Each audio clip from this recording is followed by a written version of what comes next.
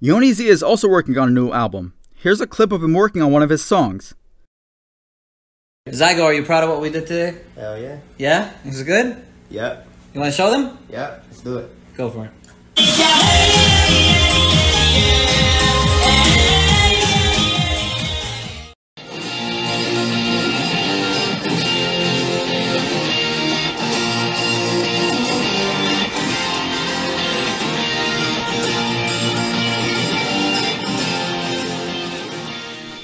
Yoni has been working on his second album for over a year now, and we recently received an update.